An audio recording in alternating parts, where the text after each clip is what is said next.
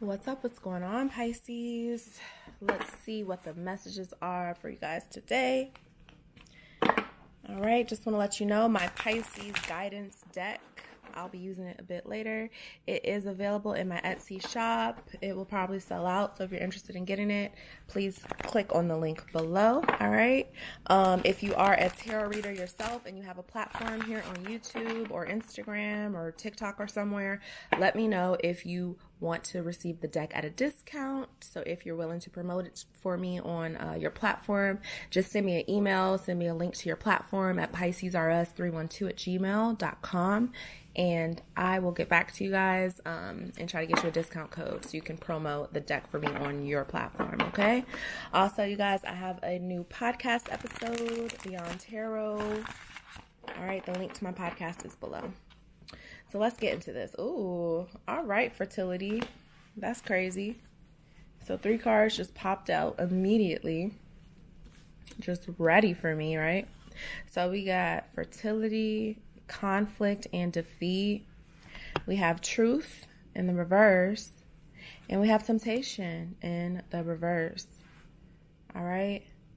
So, fertility over conflict and defeat number three, the number five here, first two cards out.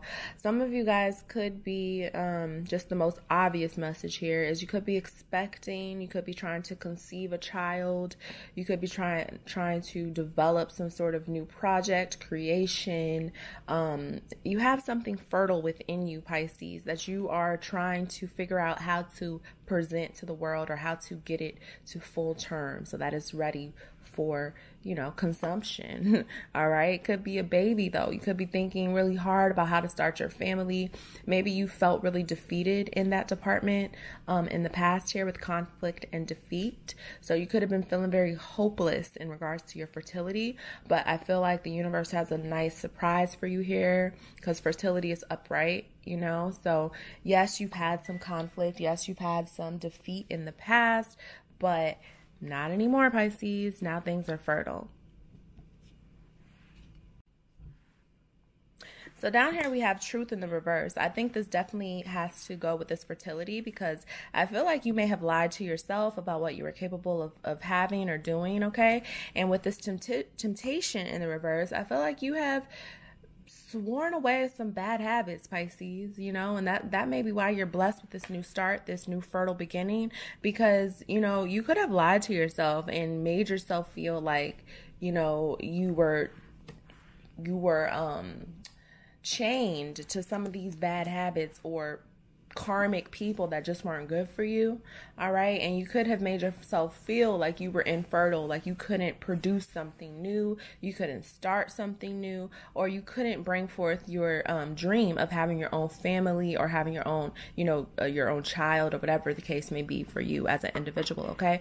But I feel like Pisces, y'all have really come to the truth of what you are capable of doing. Okay. Because with the truth in reverse, I feel like you've been so defeated with things that's happened in the past that you kind of sort of unintentionally set yourself up for the future. Like you automatically have like this negative mindset about what is possible for you in your future because of so much you know bad shit that's happened to you in the past. All right? But i feel like you are definitely detaching from people places and things that aren't serving you. Um, you're finally understanding that lesson. You're putting yourself first okay? And you're focusing on what you can create. The fertility here, it's all about you, all right? You are the incubator, your womb, whether you're a woman or a man, even if you're a man, you're an incubator for something great to come out of you, something amazing to come from you. All right. And a lot of you guys have been thinking hard and long about what it is that you can create that's going to be valuable for this world. All right. Fertility, it could be a person that you're trying to create, it could be a dream career that you're trying to create, it could be a, a product, a business. All right. It could be a dream partnership that you've never had. It's something here with the fertility that you're trying to create and you're trying to figure out how you can do it despite all of the defeat that you felt in the past. All right. Despite all the conflicted energy that you see around you. All right. A lot of y'all are in your own bubble right here. You see this? You're in your own bubble of protection. You're trying to protect your ideas. You're trying to protect your energy. All right. It's about you protecting your energy and reserving what you have inside of you for only people who deserve to even know that part of you. You can't share the innermost part of yourself, Pisces, to people who are not going to appreciate you. You can't do that anymore. All right. Because that's how you're going to end up defeated. That's how you're going to feel like you're at odds with people because you're giving people more than what they deserve. All right. You have to reserve your energy for yourself you have to reserve your energy for your passion projects, for for your fertile new beginnings. Okay? So let's see if we can clarify this a little bit. What's the advice here for Pisces? Clarify the situation for Pisces. Okay. We have the third eye chakra. All right. You're definitely seeing things that other people can't see. All right. We have card number six. Ooh, two sixes. This one did come in the reverse though all right, because it's material and spiritual prosperity in the reverse. And it could be because all this conflict and defeat, you're not really seeing the material um, things prosper right now. You're not seeing them happen in your real life. That's why you, you're in the fertile stage. You feel it inside of you, but the material, um, the material transformation is not there yet. It hasn't come out in the real world yet. All right, your third eye chakra. I feel like you're you're sensing the future, Pisces. Some of y'all are seeing things before they happen at this point in time. Okay, you're sensing things before they even happen. Um, I'm gonna read what the third eye chakra card says in this book. So it says this chakra, of course, is located in the throat area. Oh no, sorry, y'all, that's a different one.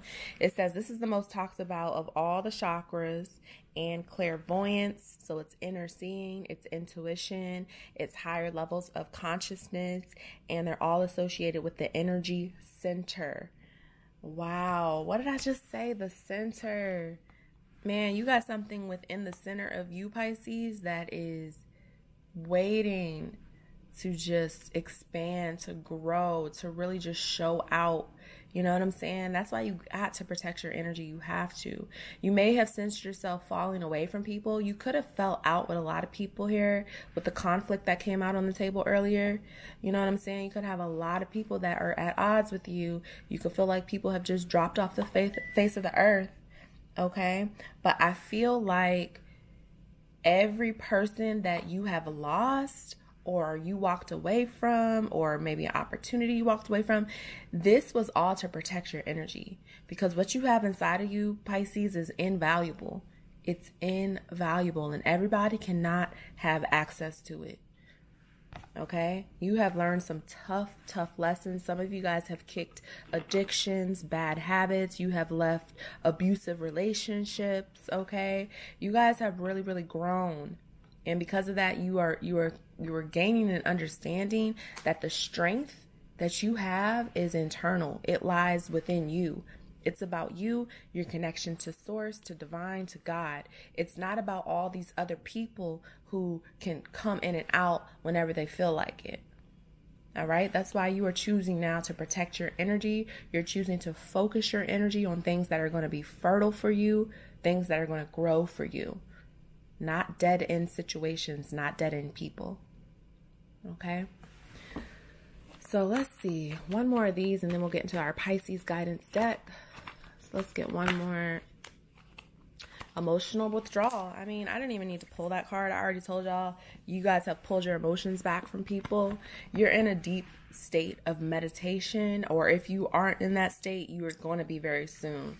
A lot of you guys cannot help but to reflect and to internalize what has happened in your life, what continues to happen, where you see your life going, and how you plan on getting there.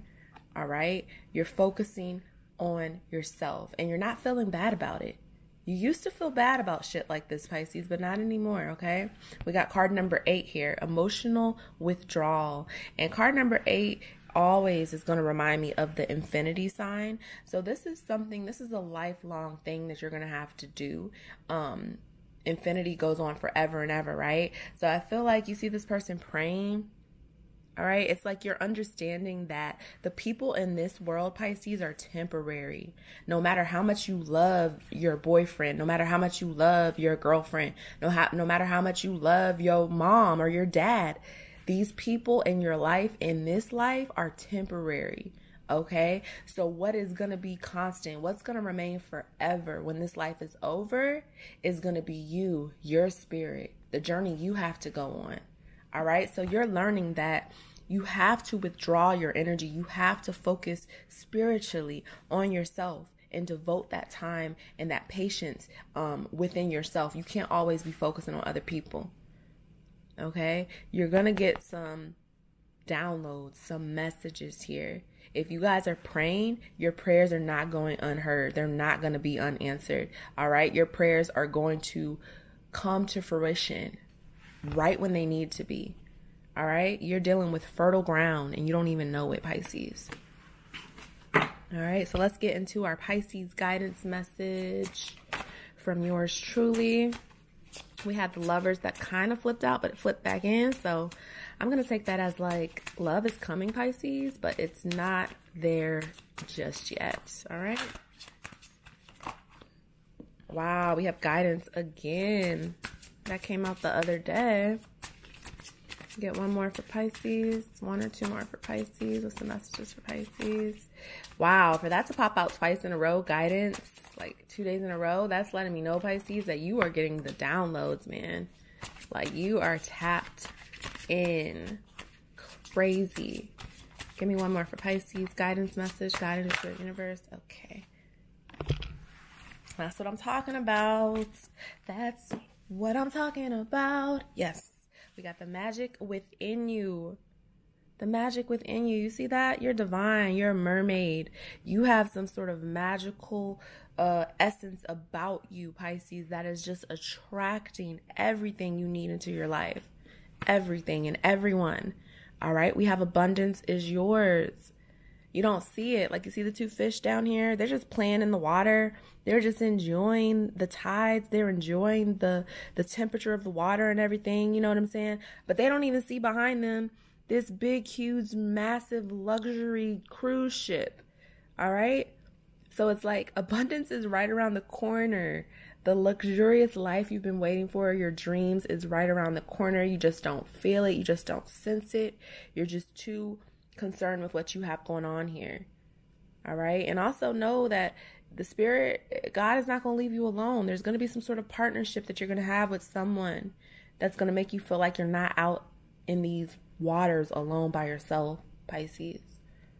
All right. Abundance is definitely yours. Lucky card number seven. All right. And then we have guidance. Like I said earlier, you're tapped in. All right. You're tapped in. You are magic at this time. Everything you touch is magical because you touched it. Period. All right. So, Pisces, I truly hope these messages helped you in some way, shape, or form. Please let me know if they did. If you're interested in receiving my Pisces guidance deck, the link to uh, purchase is below. If you are a tarot reader yourself and you want a discounted deck to promote on your channel, please send me an email at PiscesRus312 at gmail.com. All right. And y'all, please check out my uh, newest episode of my podcast, Beyond Tarot. I will talk to you guys later. All right. Bye.